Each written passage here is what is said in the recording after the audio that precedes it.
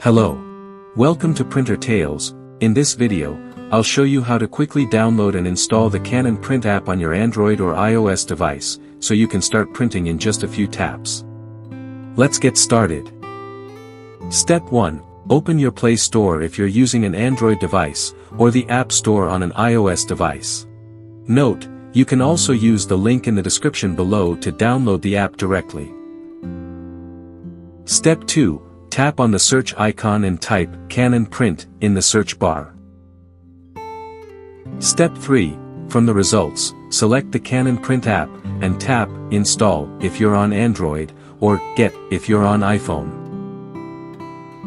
Step 4. Once it's downloaded, tap on Open to launch the app.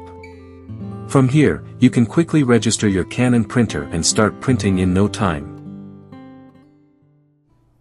If you like our content, give us a like. And if you want to learn more, subscribe our channel.